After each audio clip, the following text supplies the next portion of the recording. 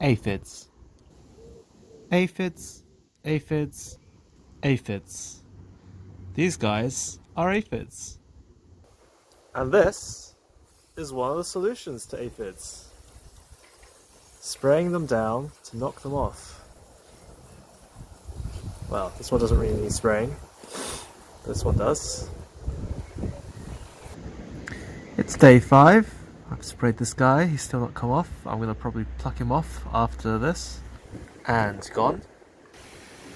I noticed some shoots growing at the bottom here.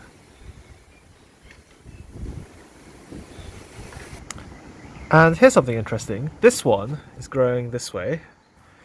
This one is growing this way. And this one's growing upright.